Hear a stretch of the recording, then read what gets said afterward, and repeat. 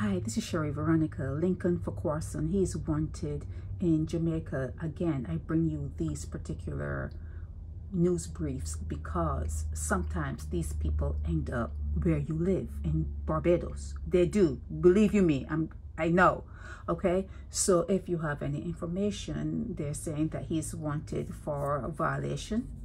He's wanted for violation, and um, it is alleged that um, he did this to someone and that the hunt has been on for him for a while and he is hiding and they have not been able to locate Lincoln okay?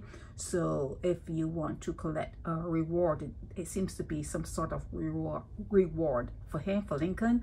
So you can call the police and you would if they find him based on the information you give you can collect your reward okay? But he's wanted in jamaica for this particular thing. If you see him in barbados you never know you never know. I'm hearing that sometimes people who are wanted in jamaica and other islands they show up where you live.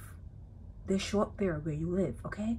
So it's better to be safe than to be sorry. This is sheri veronica